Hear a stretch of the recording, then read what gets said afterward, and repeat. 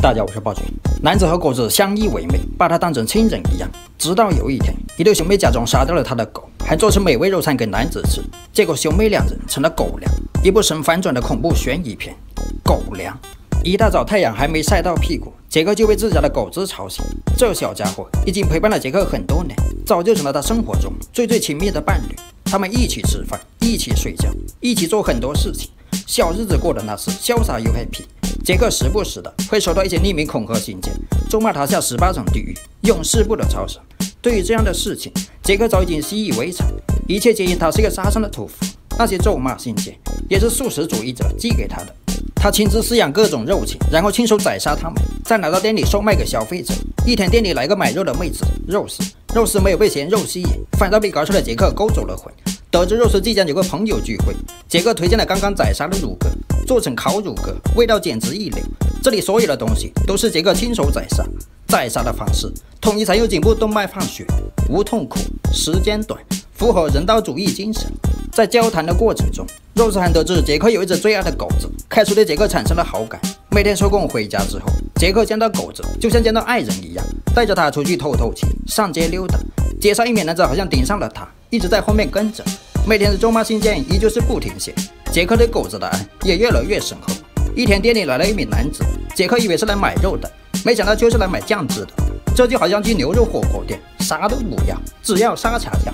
第二天照常收工回家，杰克意外发现狗子不见了，大街小巷所有地方找了一遍，都没有任何踪迹。那种感觉就像失去至亲一样，心情极度悲痛。无奈之下，杰克只好提出寻狗启事。接下来的日子里，杰克像是完全丢了魂一样，寝食难安。这种滋味我以前也是感同身受的，所以之后我就不再养宠物了。肉丝路过看到寻狗启事，来到杰克店里安慰了他一番，还主动邀请他来家里做客，吃个粗茶淡饭，希望他可以暂时忘掉这个伤心事。杰克爽快答应了，为此还换上了一身正装。开门的是一名男子，就是之前来到店里买酱料的男子。男子是肉丝的老哥，今天邀请杰克过来吃个便饭，就是想安慰温暖他一下。首先上桌的是一道肉排，由肉丝精心炮制。饭桌上，三人聊起了肉食和素食的话题。虽然杰克是屠夫，每天宰杀各种家禽，但并不妨碍他喜欢小动物，吃各种小动物。接着上桌的是一道肉排，杰克也顺便聊起了自己的一些事情。在他大学的时候，处了好几年的女票和自己朋友搞上了，一时伤心之下，他就离开了女票。后来意外捡到了一只狗子，一直饲养到现在，只是他唯一感情的寄托，现在也不见了。